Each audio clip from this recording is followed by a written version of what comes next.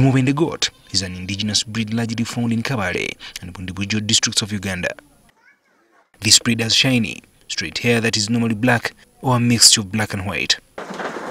Its meat is of high quality, so has its skin, which is used as leather in the tanning industry. It's the biggest uh, uh, local goat we have.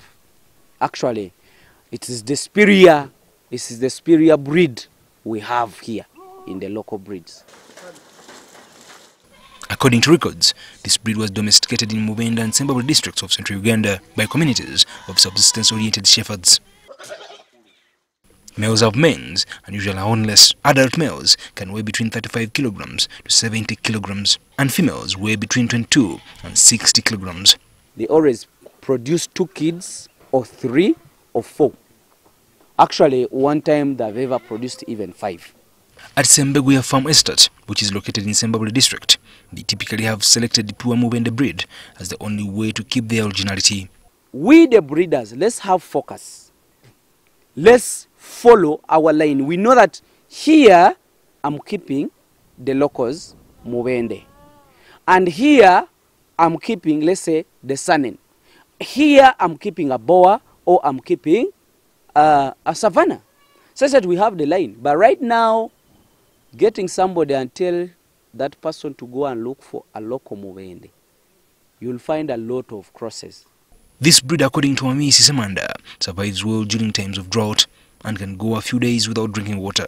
The resistance or the tolerance of the diseases here in, in, in our country are really too high. So you can't compare them to the hybrids. Despite their diseases immunity compared to other breeds in terms of weather and diseases, a farmer is advised to give more care and attention. Uh, when you don't give them much attention or care or good nutritional stuff like giving them salt and supplementing them, definitely with Mubende you will be on the wrong track. Because whatever it takes in, it converts very little. So for the, for the hybrids, at least for you, you will be on the line. Because what it takes in, it converts high. The housing is also an important aspect. But if you want to do business, do a good housing as you can see it, very well aerated, clean the house, and definitely you get better results. But for us here, we don't have any different management we are giving. The treatment we give the hybrids is the treatment we are giving these ones. Dr. Misi, would you advise any starter, for example, if I want to venture into Mubende goats, would you advise me to concentrate on Mubende goats as a business?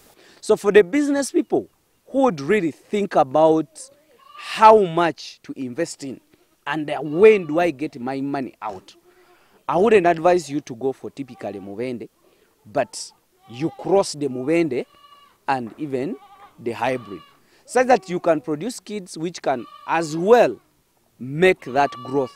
That in six months, I can have a goat of at least 30 kgs live weight. How many goats, if I'm going to Mubende and fusing it with other hybrids, how many goats can I start with? Uh, a farmer at least would start with uh, 25. 25 would be a good number to break even, and then you get a one male. Because uh, when you start um, with the 25, I think in two years you'll be able to have uh, around uh, 75. Inbreeding like in other breeds must be avoided. Always let the goat be with the mothers or in a mother flock for only one year. With the Mubende, it can even stay one and some two months because for them they take long to get on heat. Next week on the farm, we shall examine crossbreed goats. Ivan Chimrich Gozi, NTV on the farm.